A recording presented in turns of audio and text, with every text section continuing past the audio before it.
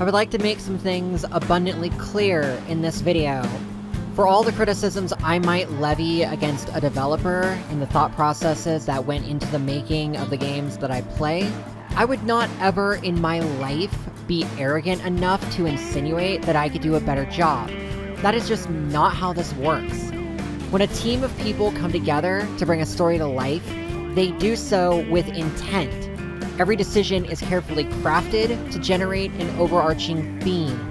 That theme can be a raging inferno of success, or it can wither away in the winds of history. But once it is out there, it is not to be infringed upon. To that end, I do not condone the unsanctioned modification of video games. It's one thing if a developer allows it, but if they say no, that decision is final. Nothing you say can change my mind. I reported Need for Speed Rivals Plus to EA, and I would hope that anyone who plays this game would feel compelled to do the same thing. Because the problem with Rivals Plus is that it serves as a massive overreach which straight up ruins every intent that the developers had when they released that game a decade ago. And in case it goes without saying, Need for Speed Rivals is not abandonware. It is a game you can buy right now. It is a game you can play right now. Even if the servers might be dead as a doornail, the single player game is more than cohesive enough to keep a player playing for dozens of hours. So, while one might make the argument of modding a game for quote unquote preservation, that is far from the case here. And the game still holds up graphically to this day because the aesthetic of the game was meant to be futuristic from day one, making it all the more infuriating when the maker or makers of Rivals Plus have sought to completely ruin that image and instead make the game look older than it actually does. Trust me, there is a lot to unpack here, and it's gonna be really hard to get to all of it, so let's just get started. Need for Speed Rivals Plus is a modification to the base game which promises improved graphics, features, and performance. It does not do any of these things, and in fact, makes all of these things worse. A demo video was released for version 5, and while I refuse to link that video, I will post a screenshot or two from the video. The first claimed improvement is to the Racer UI, and it is honestly the most egregious example here. See, the Racer UI in the base game is something that I have found to be iconic. It is a futuristic, all-translucent overlay, which jives with the floating, augmented reality markers of events and collectibles, as well as the game's holographic world map. Like I said, everything was done with intent when the developers made this game. And it was so good that games like Forza Horizon and TDU Solar Crown attempted to emulate the exact same style. We know this to be true. So, why the hell then would you seek to add color to the UI? Rivals Plus makes the speedometer green and the multiplier icon blue. Why? To make it more legible? Sure, I guess. But then, why not orange? Literally the racer UI colors for the game. It's like no thought was given to the aesthetic of the game. And it gets worse.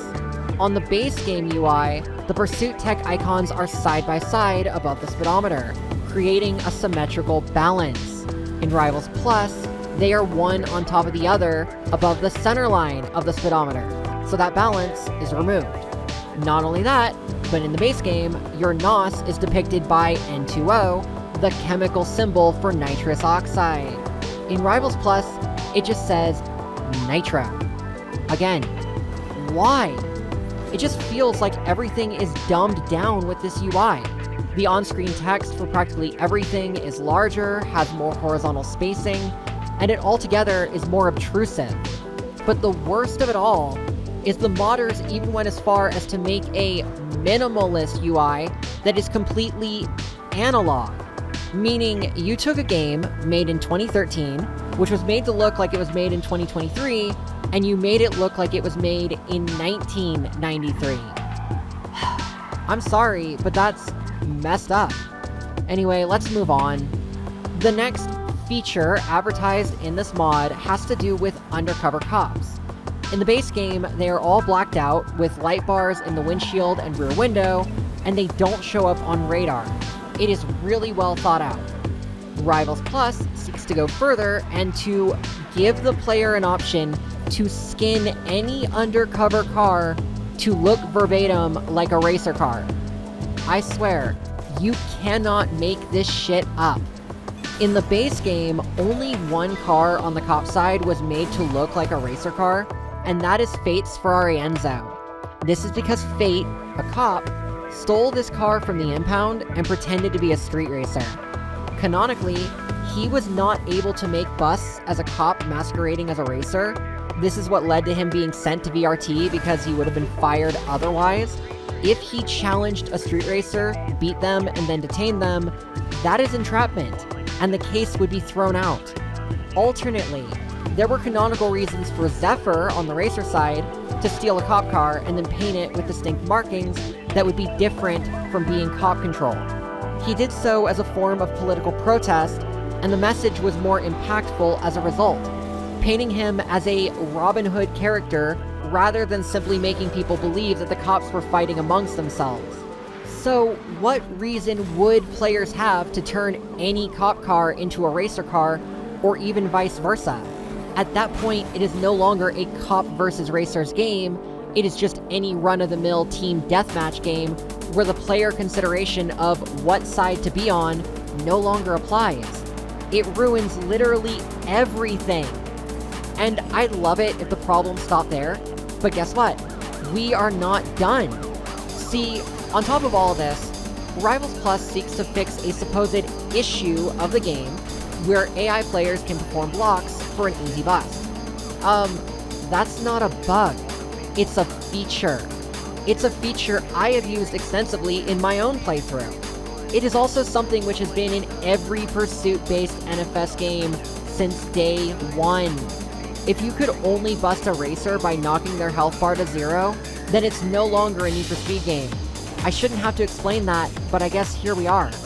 And the final thing I want to touch on, which I think ties all this together, is the modder or modders involved in Rivals Plus took it upon themselves to add text descriptions to the cutscenes of the game.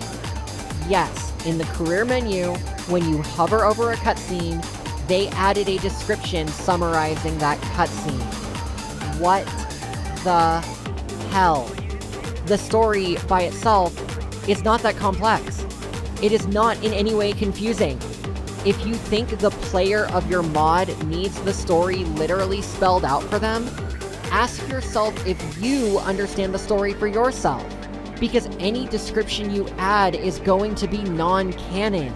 It's like taking someone else's novel, making an abridged version of it, and claiming that you improved it. You are just so far in the wrong at that point, it's not even funny at all. Now, I've essentially said all I want to say on the matter, and I could just imagine the kind of hate comments I'm going to get on this. People are going to be like, oh, well, if you don't like it, don't install it. Other players clearly think different from you and want to download it. All you're doing is hurting those players. No, this is not okay.